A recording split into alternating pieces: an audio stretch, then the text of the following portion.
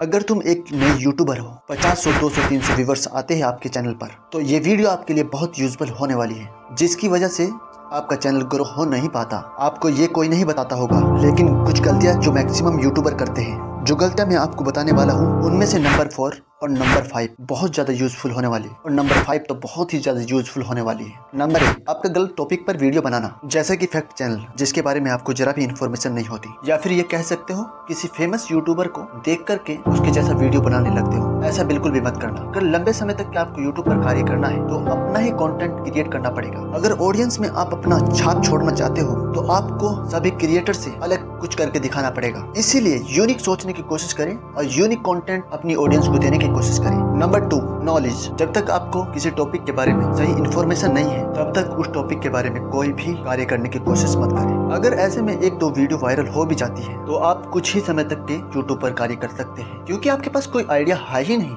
इसीलिए आपको आगे बढ़ने का कोई रास्ता नहीं होगा। तो इसीलिए आप अपने आप को पहचान कर, सोच समझ कर यूट्यूब पर कार्य करें। आप किस कैटेगरी में कार्य करने में महारत हासिल कर सकते आप किस कैटेगरी में ऑडियंस को अच्छा कंटेंट दे सकते हैं? नंबर थ्री बैड ऑडियो मेरा मतलब ये हुआ, बेकार आवाज़. बेकार आवाज़ जो हर किसी को पसंद नहीं होती. चाहे आपने कितने ही अच्छे टॉपिक पर वीडियो क्यों ना शूट की हो. अगर आपकी आवाज़ बेकार है तो आपकी वीडियो पूरी बेकार है. आपकी ऑडियंस आपको, आपकी वीडियो को स्किप कर दे छोड़ कर चली जाए. इसीलिए अपनी ऑडियंस को अपने से जोड़ कर रखने के लिए अपनी वीडियो के अंदर ऑडियो क्वालिटी हाई लेवल की रखनी चाहिए. अगर आपकी आवाज़ में दम होगा तो आपको आपकी ऑडियंस सुनना पसंद करेगी सो मैं आपसे उम्मीद करता हूँ आप अपनी वीडियो के अंदर अच्छी क्वालिटी अपनी ऑडियंस तक पहुँचाओगे। Follow my YouTube channel